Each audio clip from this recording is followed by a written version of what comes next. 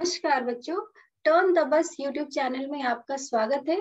हम लोग पढ़ रहे थे कविता लौट कर आऊँगा फिर। हमने यह कविता पूरा कर लिया है। आज हम लोग इसका प्रश्न उत्तर देखेंगे और उससे पहले हम लोग कुछ ऑब्जेक्टिव प्रश्न भी देखेंगे क्योंकि आपके परीक्षा में ऑब्जेक्टिव प्रश्न भी आते हैं। तो यह कुछ ऑब्जेक्टिव प्रश्न है। देख लेते हैं इसको। यह कविता पर ही आधारित है। लौट कर आऊँगा फिर कविता है। यानी यह कविता क्या है? इन चारों ऑप्शंस में से यह कविता क्या है? पहला, राष्ट्रीय चेतना की। बी, राष्ट्रीय धरोहर की। सी, राष्ट्रीय आवाम की। डी, राष्ट्रीय सत्ता की। तो आप याद करिए, जब हम लोग कविता पढ़ रहे थे तो यह कविता किसके बारे में बताता है? तो यह कवि के राष्ट्र प्रेम के बारे में बताता है। तो इसलिए सही उत्तर होगा ए राष्ट्रीय चेतना की। अगला प्रश्न देखते हैं। दूसरा, जीवनानंद दास को जाना जाता है तो यानी उसको, उनको इनमें से किसके रूप में जाना जाता है? ए बांग्ला के आधुनिक कवि के रूप में। बी हिंदी के साहित्यकार के रूप में। सी मराठी के हास्य कवि के रूप में। डी इनमें से सभी। तो जीवनानंद दास जी एक बंगाली कवि है। तो ये इनकी जो भी कविता होती है, वह बांग्ला में लिखी जाती है। तो इसलिए इसका सही उत्तर होगा, बांग्ला के आधुनिक कवि के रूप में।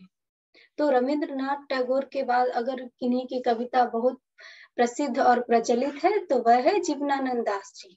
तो हमें ये कविता हिंदी में कैसे प्राप्त हुई? उसको हिंदी भाषा में भाषांतरित किया गया।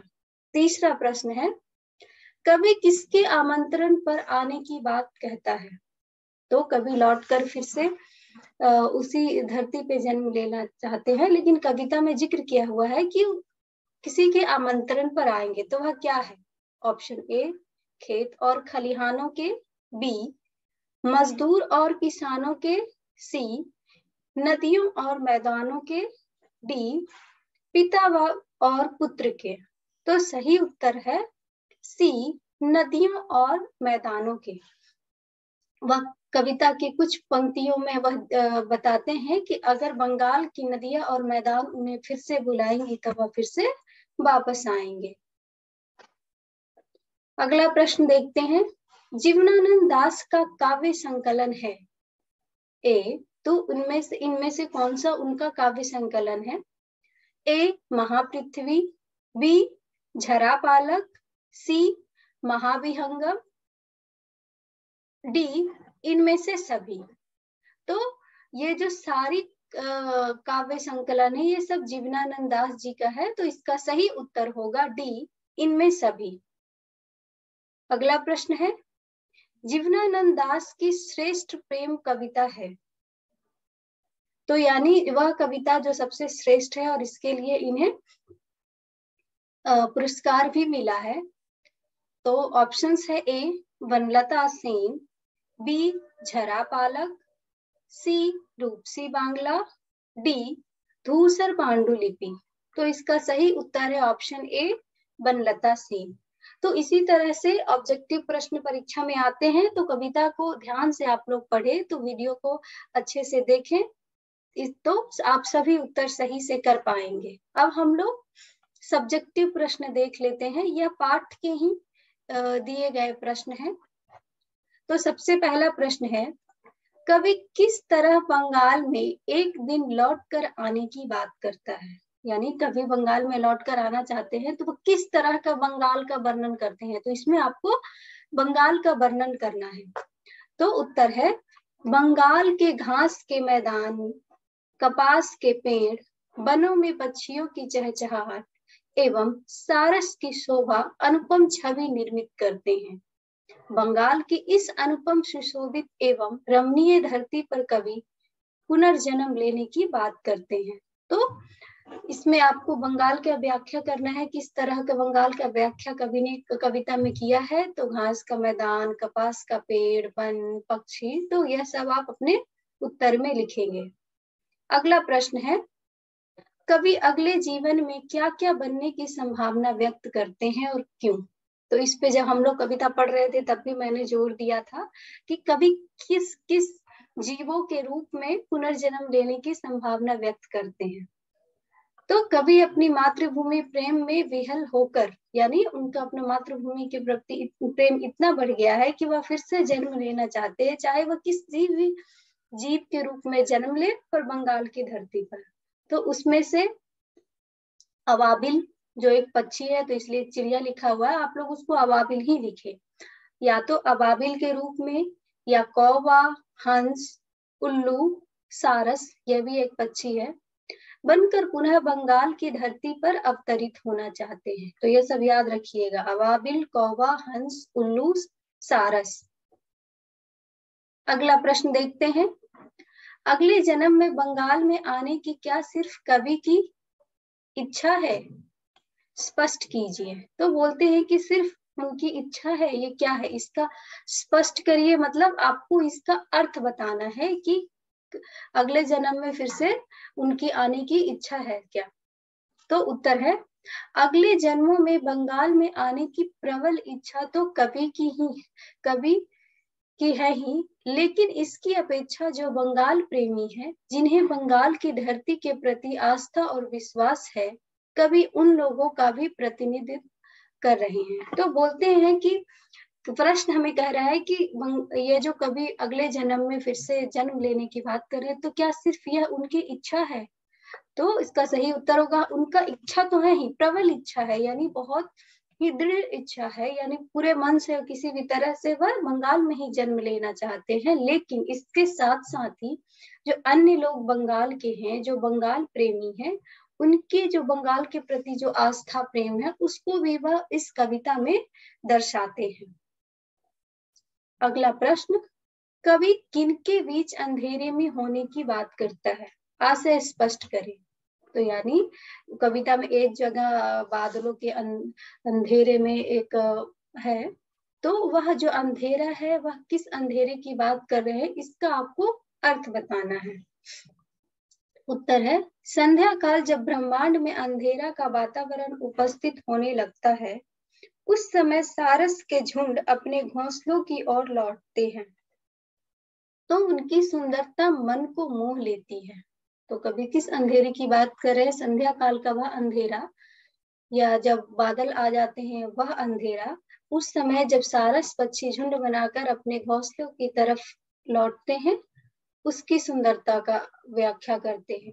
यह सुंदरतम दृश्य कवि को भाता है, यानी कवि को बहुत अच्छा लगता है।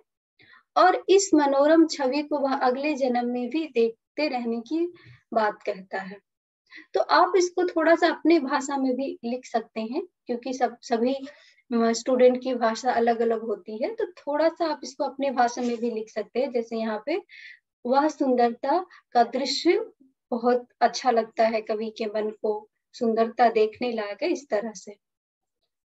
अगला प्रश्न है कविता की चित्रात्मकता पर प्रकाश डालिए, यानी कवि इस कविता में किस किस चित्र का वर्णन किया गया है, चित्र के रूप में, उसका आपको उस पर प्रकाश डालना है, यानी उसके बारे में बताना है।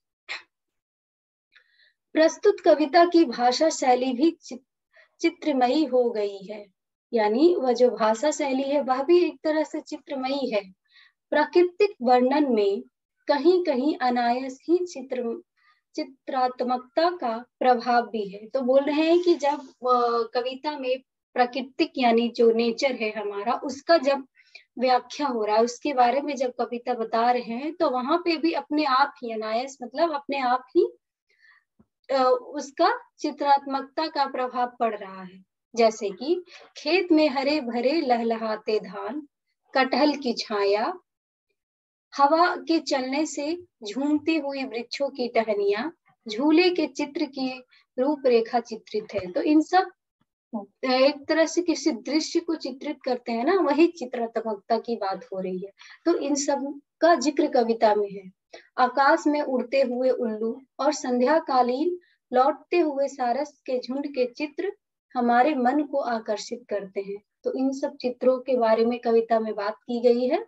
तो आप इसको अच्छे से याद कर ले। प्रश्न उत्तर आप लोग अपनी कॉपी में लिखते जाएँ। ऑब्जेक्टिव का अभ्यास आप लोग ऐसे ही कर ले, लेकिन जब भी प्रश्न उत्तर होता है तो उसको अपनी कॉपी में लिख ले, ताकि जब आपकी परीक्षा निकट आए तो आपको अभ्यास करने में आसानी हो। अगला प्रश्न है, कविता में आए बिंबों का सौंदर्य स्पष्ट करिए। तो जिस भी बिंब की बात हुई है कविता में, उसकी सुंदरता का सुंदरता का व्याख्या आपको अपने उत्तर में करना है।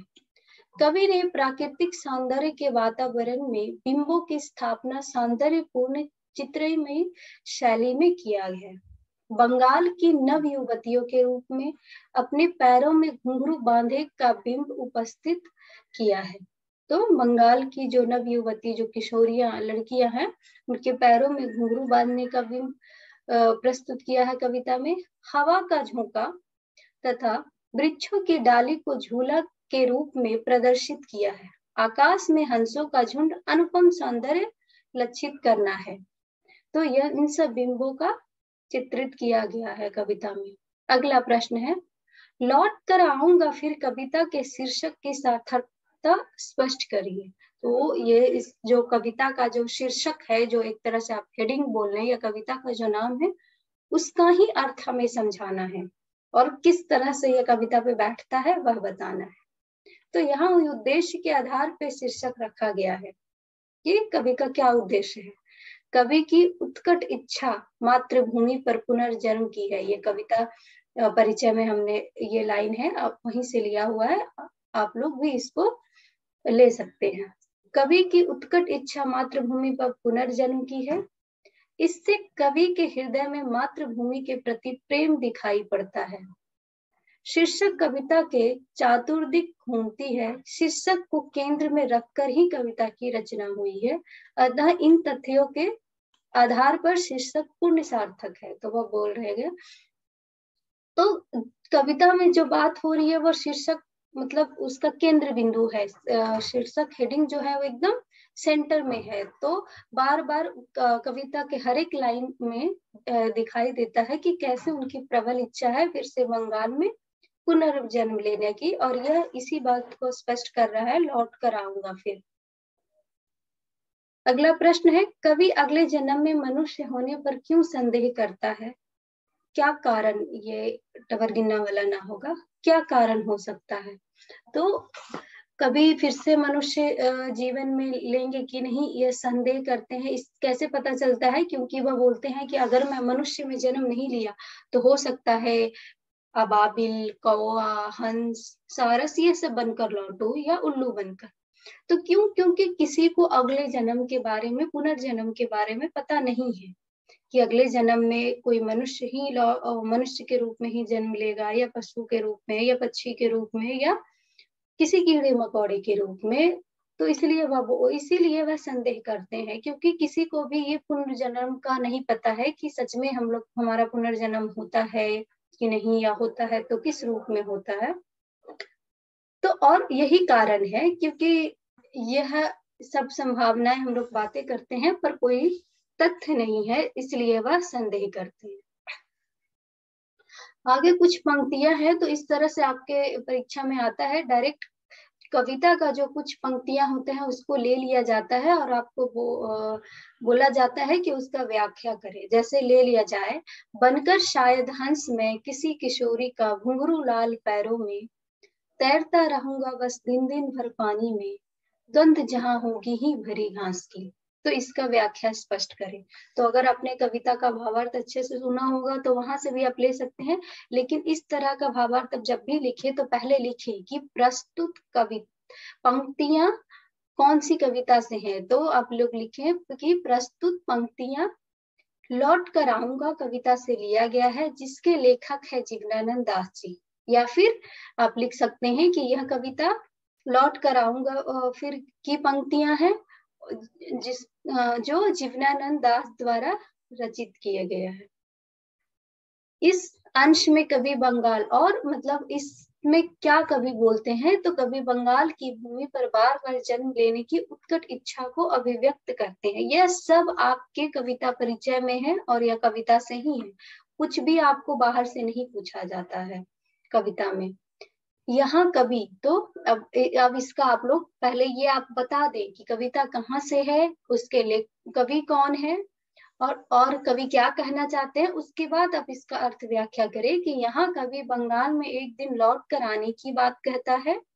वह अगले जन्म में भी अपनी मातृभूमि बंगाल में ही जन्म लेने का विचार प्रकट करते हैं। वह हंस, यहाँ जो हंस बोला, हंस, किशोरी और घुंघरू की बिंब शैली में अपने आप को उपस्थित करना चाहते हैं, या तो वो हंस के रूप में जन्म ले, या किसी किशोरी के घुंघरू के रूप में। जहाँ की किशोरिया पैरों में घुंघरू बांधकर हंस के समान मधा में अपनी नाच से लोगों को आकर्षित करती हैं। तो यानी जैसे किशोरिया अपने पैरों में घुंघरू बांधकर नृत्य करती है, उसी तरह वह हंस के रूप उनका नृत्य हंस के नृत्य की तरह सुंदर दिखाई दे।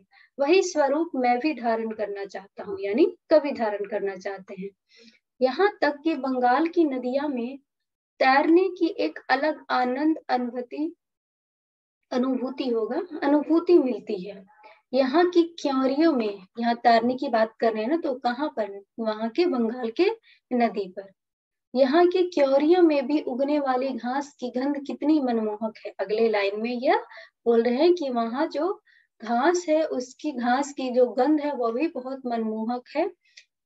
यह तो बंगाल प्रांतीय ही समझ सकते हैं, यानी जो बंगाल के निवासी है, वही समझ सकते हैं। इस इस प्रकार कवि पर्ण अपनत्व की भावना में प्रवाहित होकर हार्दिक इच्छा को प्रकट किया है, यानी अपनी खुशी को ज़ाहिर किए हैं। अगला पंक्ति है, खेत है जहाँ धान के, बहती नदी के किनारे, फिर आऊँगा लौट कर एक दिन बंगाल में। तो इसका तो इसका भी आप वही करेंगे कि प्रस्तुत पंक्तियाँ हिंदी पाठ, लौट कर आऊँगा फिर शीर्षक से लौट कर आऊँगा फिर कविता से लिया गया है, जिसके कवि है जीवनानंद दास जी। और इसमें उनका बंगाल के प्रति जो मातृभूमि के प्रति जो प्रेम है, वह दर्शाता है, वह फिर से जन्म लेना चाहते हैं बंगाल में। कवि ने बंगाल के प्राकृतिक सौंदर्य के साथ वहाँ के खेतों में उगने वाली धान की फ़सलों का मनमोहन चित्र। यहाँ पे बंगाल में धान होता तो कभी बात कर रहे हैं धान की खेती की तो बिहार में तो साल में एक बार धान की फ़सल होती है, लेकिन बंगाल में साल में दो बार धान की फ़सल होती है। तो इसलिए कभी कहते हैं कि वहीं पे आना चाहते हैं, खेत है जहाँ धान के, जहाँ पे बहती है नदी के किनारे, फिर लौट कर आऊँ, आऊँगा लौट कर एक दिन बंगाल में। तो कवि कहते हैं तो इसलिए कवि कहना चाहते हैं कि जिस बंगाल में खेतों में लहलहाती हुई धान की फ़सलें हैं, वहाँ पर मैं फिर लौट कर आना चाहता हूँ। जहाँ कलकल करती हुई नदियाँ की धारा अनायस ही लोगों को आकर्षित कर लेती है। यानी जहाँ पे नदी बहती है और जो नदी की जो धारा होती है, वह लोगों को बहुत ही आकर्षित करती है। वहाँ ही मैं जन्म लेना चाहता हूँ। यह स्पष्ट है कि कभी अपने भावना को स्वच्छंद स्वरूप प्रदान करते हैं। तो कभी कैसे व्याख्या करते हैं कि जहाँ कैसे सुंदरता को व्याख्या कर रहे हैं बंगाल की, जहाँ धान खेतों में धान की लहलहाती खेत लहलहाती खेत है, जहाँ पे नदी बहती है और नदी के बहने से जो सुंदरता होती है वह भी देखने लायक होती है। वहीं पर ये लौट कर आएँगे एक दिन कहा? बंगाल में। तो इस तरह से आप इसको लिखिएगा व्याख्या करिएगा। या नहीं कोई भी पंक्ति आ सकती है। ये तो दो, दो पंक्ति हैं जो आपके अभ्यास में दी गई थी। तो कविता से कोई भी पंक्तियाँ उठाकर आपसे पर, परीक्षा में पूछा जा सकता है। तो इसलिए आप लोग कविता के भावार्थ पे ध्यान दें और लिखने के इस फॉर्मेट के ऊपर भी, क्योंकि आप आप जो परीक्षा जाँच कर रहे हैं, उनको यह नहीं पता है कि आपको कितना ज्ञान है, लेकिन आप जो भी अपनी उस उत्तर पुस्तिका में प्रस्तुत करेंगे, उसी के आधार पे आपको मार्क्स नंबर मिलेंगे तो इसलिए आप लोग उत्तर को सही ढंग से लिखें। तो आशा करती हूँ कि आपको यह पाठ समझ में आया होगा। मिलते हैं फिर अगले पाठ को लेकर। धन्यवाद।